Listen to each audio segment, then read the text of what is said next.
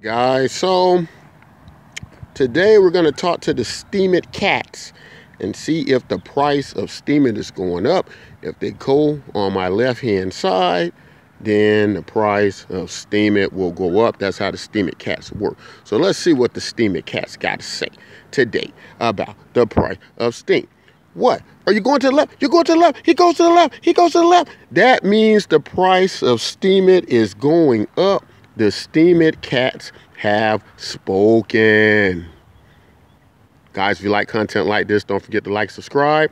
And until next time, take care.